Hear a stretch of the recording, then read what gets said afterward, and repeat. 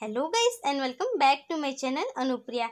Guys आज मैं आपके लिए लेकर आ गई हूँ एक ऐसी मैजिकल हेयर रेमेडी जिसे यूज़ करने के बाद आपका जो काफ़ी समय से हेयर फॉल हो रहा है, आपके बाल रुखे हो गए हैं, बेजान हो गए हैं, बिल्कुल ही रफ हो गए हैं और सबसे बड़ी बात कि आपकी जो हेयर ग्रोथ है, वो बिल्कुल ही रुक चुकी है। जी हाँ आजकल की जो हमारी जनरेशन है, जिसमें हम फास्ट फ़ूड का बहुत ही ज़्यादा हम यूज़ करते हैं, खाते हैं उसे, जिससे कि हमारी बॉडी में विटामिन प्रोटीन्स की कमी हो जाती है और हमारा जो हेयर फॉल स्टार्ट हो जाता है। हमारी हेयर की ग्रोथ बिल्कुल ही रुक जाती है। ये वीडियोस मैं उन लोगों के लिए लेकर आई हूँ जो अपने झड़ते बालों से या अपने कम बालों से, रूखे बालों से परेशान है। सो गाइस चलिए स्टार्ट करते हैं आज की इस वीडियो को। एंड अभी तक आपने मेरे चैनल को सब्सक्राइब नहीं किया है तो कर लीजिए और साथ ही साथ बेल आइकन को भी प्रेस कर दीजिए। तो सबसे पहले मैंने लिए फेनोग्रिक सीड मतलब मेथी दाना। मैंने मेथी दाना थ्री टीस्पून ऐड कर दिया है एक बाउल में। देन मैं ले रही हूँ सीसम सीड्स यानी तिल।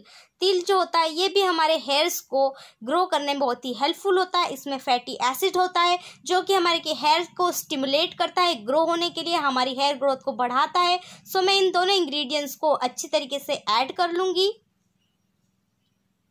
मैंने एक पैन में fenugreek seeds and sesame seed add कर दिए। देन अब मैंने इसमें वाटर ऐड किया है। वाटर हमें इतना ऐड करना है कि ये अच्छी तरीके से उसमें डूब जाए।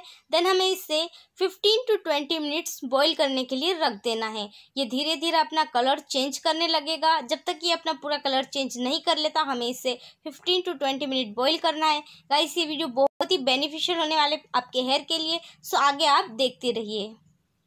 ये बॉईल होना स्टार्ट हो गया है एंड इसका जो कलर है, वो भी चेंज होना स्टार्ट हो गया है। गाइस ये वीडियो बहुत ही बेनिफिशियल होने वाली है। इसे एंड तक ज़रूर देखिएगा।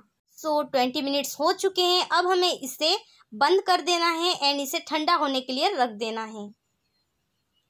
अब हमें इसे एक स्टेनर की हेल्प से छान लेना है, यानी छलनी की हेल्प से एंड इसके वाटर को हमें बॉल में ऐड करना है। सो so गाइस हमारी जो मैजिकल हेयर रेमेडी है, वो बनकर रेडी हो चुकी है। अब हमें इसे एक स्प्रे बोतल में ट्रांसफ़र कर लेना है और अपने हेयर्स में स्प्रे करना है। देन इसे अच्छी तरीके से 15 टू 20 मिनट्स मसाज करनी है। उसे रेस होने देना है हमें 20 मिनट्स के लिए ताकि वो हमारे हेयर फॉलिकल्स को प्रमोट करे हेयर ग्रोथ के लिए। क्योंकि हमने इसमें मिलाए थे फेनुग्रिक सीड जिससे कि ये हमारे हेयर को ग्रो करेगा, हमारे हेयर को स्मूथर बनाएगा शाइनियर बनेगा एंड नेचुरल कंडीशनिंग भी देगा। सो so गाइस अब आपको क्या करना है? इसे ट्वेंटी थर्टी मिनट्स के बाद ड्राई होने देना है एंड देन नॉर्मल वाटर से इसे वॉश कर लेना है।